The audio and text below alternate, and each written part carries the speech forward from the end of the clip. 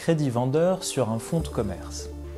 Le crédit vendeur est une pratique contractuelle qui consiste à payer le prix d'acquisition du fonds de commerce selon un calendrier arrêté entre les parties.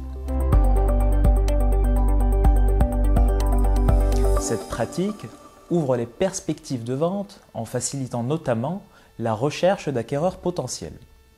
L'acheteur du fonds de commerce paye comptant le premier acompte, puis échelonne le paiement du solde. Le vendeur du fonds de commerce ne reçoit donc pas immédiatement la totalité du prix au moment de la transaction.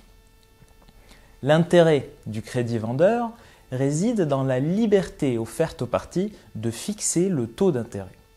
Le vendeur qui supporte le risque d'un défaut de paiement et qui offre à l'acheteur la faculté de payer en plusieurs fois peut en contrepartie choisir le taux d'intérêt et solliciter un prix de vente plus élevé. Quels sont alors les inconvénients du crédit vendeur? Ils sont essentiellement supportés par le vendeur. Premier inconvénient, le paiement de l'impôt sur la plus-value. Alors qu'il n'a pas encore encaissé la totalité du prix convenu, le vendeur est susceptible de payer immédiatement l'impôt sur la plus-value généré par la vente du fonds de commerce. Et ce, même si au titre de cette année, il ne perçoit partie du prix de la vente. Néanmoins, sous certaines conditions, les cessions réalisées depuis le 1er janvier 2019 peuvent faire l'objet d'un étalement de l'impôt sur la plus-value. La consultation d'un professionnel avant la vente pour vérifier l'éligibilité à ce dispositif est nécessaire.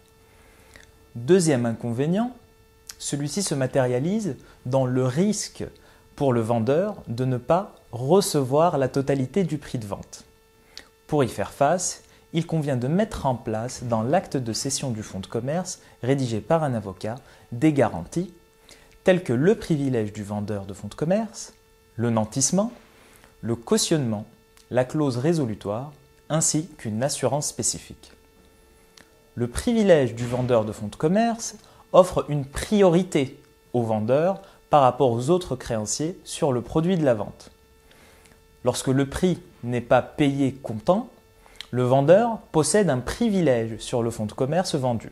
Ce privilège ne joue que si la vente du fonds est constatée par acte authentique ou sous signature privée dûment enregistrée. Sachez toutefois que l'inscription du privilège auprès du greffe du tribunal où est exploité le fonds n'est plus requise depuis le 1er janvier 2023 pour l'existence même du privilège. Le nantissement sur le fonds de commerce sécurise le vendeur en cas de défaillance dans le paiement du prix. Ce nantissement doit être constaté par un acte authentique ou par un acte sous sein privé. Une inscription auprès du greffe du tribunal où est exploité le fonds doit être effectuée. Elle est circonscrite aux éléments suivants l'enseigne et le nom commercial, le droit au bail, la clientèle et l'achalandage, le mobilier commercial, le matériel ou l'outillage servant à l'exploitation du fonds, les brevets d'invention, les licences, les marques, les dessins et modèles industriels et généralement les droits de propriété intellectuelle qui y sont attachés. S'agissant de la clause résolutoire. La clause résolutoire dans l'acte de cession permet la résiliation automatique de la vente du fonds de commerce. Le vendeur peut vouloir inscrire dans l'acte de cession une clause résolutoire. Cette clause entraîne la résolution de la vente du fonds de commerce c'est-à-dire son annulation en cas de défaut de paiement du prix du fonds de commerce par l'acquéreur. Il conviendra également de prévoir une assurance spécifique couvrant les risques liés à la disparition du fonds de commerce imposé à l'acheteur avec obligation de la maintenir et de renouveler l'assurance. En résumé, si le crédit vendeur présente des inconvénients, il est une solution précieuse pour faciliter les opérations de cession sous réserve que les garanties appropriées soient mises en place pour protéger les intérêts du vendeur.